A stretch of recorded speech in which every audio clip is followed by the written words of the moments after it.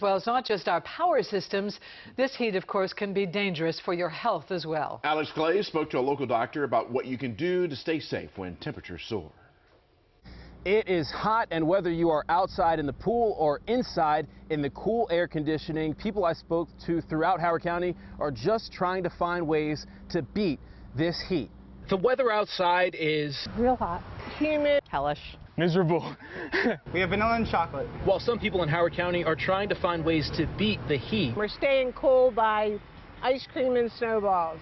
Others are embracing the heat, but hydration is key. It's super important to stay hydrated, right? Uh, get some electrolytes, like I drink Gatorade.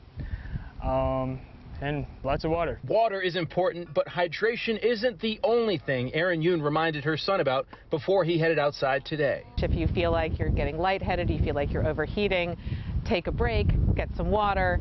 You know, if you need to, get into the shade, come inside, take a rest. Dr. Mark Goldstein is the medical director of Sinai Emergency Department. He says about 700 people per year die from heat-related illnesses. When temperatures exceed 95 to 100 degrees, uh, many people are going to be vulnerable um, to heat related illness and even death. Dr. Goldstein says hydration is important, but when temperatures are extreme, it's best to avoid long exposure to the heat. Really, if there's a place to, to get inside where there's air conditioning climate control, uh, that's, that's really critical for, during these heat waves. A list of cooling centers located throughout the state can be found on WJZ.com.